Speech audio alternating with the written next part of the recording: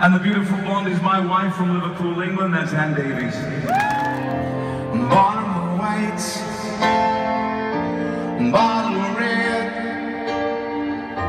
perhaps a bottle of rosé instead. We'll get a table near the street, and I'll